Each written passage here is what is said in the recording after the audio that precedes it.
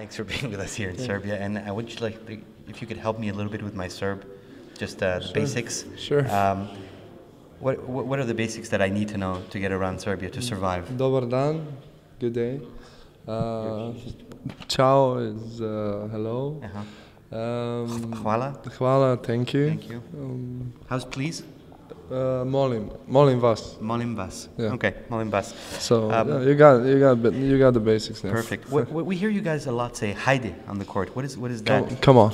Come on, it's like the, the Serbian "Vamos." Exa- uh, exactly. Okay. Um, how is my pronunciation on this? Uh, ka- kako, kako ste? Kako ste? How are you? How are you? How would you say how you doing? Šta ima? Stema. That's like a cooler way to say. it? Cooler way. Yeah. Okay. Um, uh, how about some how about some cursing? I mean, Uh, we don't know. We don't know. We don't. don't we, curse? we never curse. Wow. We have they no never curse. curse. Yeah. Unbelievable. Um, okay, important stuff now. How do I tell uh, a chair umpire that I think he's committed a grave mistake? No, we, we say it much worse than that. Uh, we, we cannot we cannot say it that easy. I mean, it has to be much. Well, you, that was my next question. Like, how do you make him understand that you're a bit mad? He, he gets it. I mean, um, you can watch some of my matches and you'll figure it out. Uh, Okay, so how about saying uh, just a few tennis terms? A serve, Uh, service. service, forehand.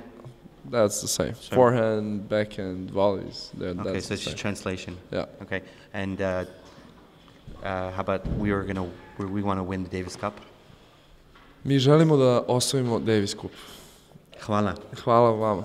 Thank you very much.